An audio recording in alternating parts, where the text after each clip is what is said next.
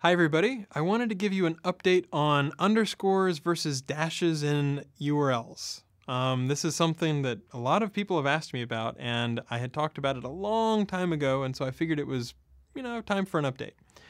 So, first, let me give a little bit of history about why, whenever we see an underscore, we join that in the URL rather than separate using that. So, what do I mean? Well, if you say red dash widget in a URL, we view that dash as a separator. So we index the word red and we index the word widget, and those are separate.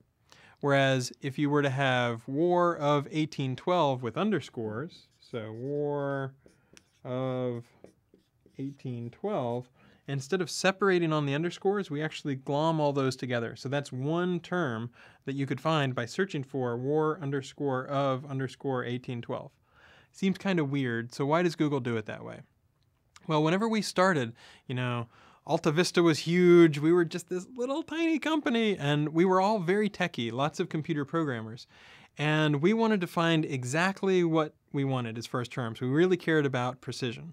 And so whenever you are a programmer, you often have things like, you know, if you're a C programmer, you might recognize temp underscore max. And so if you are a programmer, you want to be able to search for that term and find temp underscore max and that exact term, not just temp and max that happened to be on the page. So it was because the original engineers were programmers and the programmers wanted to be able to search for programming terms that we joined based on the underscore rather than having that act as a separator. Now, uh, in practical terms, it doesn't make that much of a difference. It's kind of what we call a second order effect. It's not a, a, primary thing that really makes a huge difference. For example, Wikipedia has a lot of pages that say war underscore of underscore 1812. That doesn't keep Wikipedia from ranking because there's PageRank, there's proximity, there's, you know, title, there's all the other signals that we use, over 200 of them.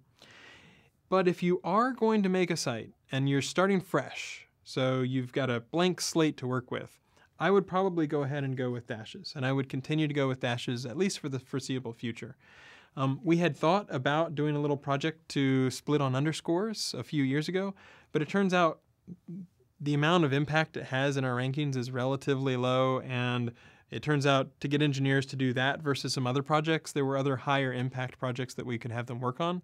So at least for the time being, we still join on on the underscore and separate on the dash. So a few people had asked, you know, you were thinking about splitting on the underscore. Do you do that yet? The answer is no. I don't know when we will. Um, nobody's slated to be working on that. So at least for the time being, it's better to stick with a dash. Now, if you already have a website, if it already uses underscores, and if it already works the way you want, don't go back and rewrite every single URL. I would only bother when it's a brand new website, when you're really working on something fresh, when you're trying to say to yourself, okay, I can do this any way I want, then that's a pretty good time to go for dashes. If you've already made the choice and you happen to use underscores, I really wouldn't worry about it that much. It's not a huge factor. But I just want to wanted to explain a little bit about the kinds of reasons why we would do that in the first place and just give a little bit of context and a little bit of update. So hope that explains things a little bit better. Thanks, everybody.